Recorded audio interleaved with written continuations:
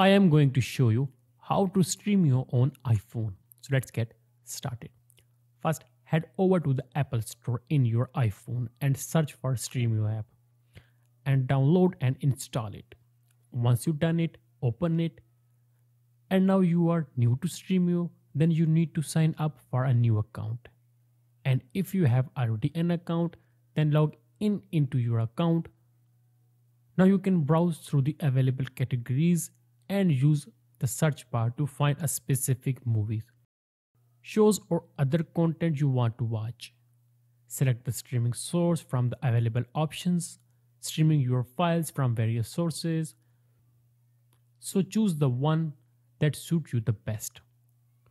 Stop the play button to start your Stremio and choose in content and enjoy watching it right on your iPhone. And that's how you can use streaming on your iPhone.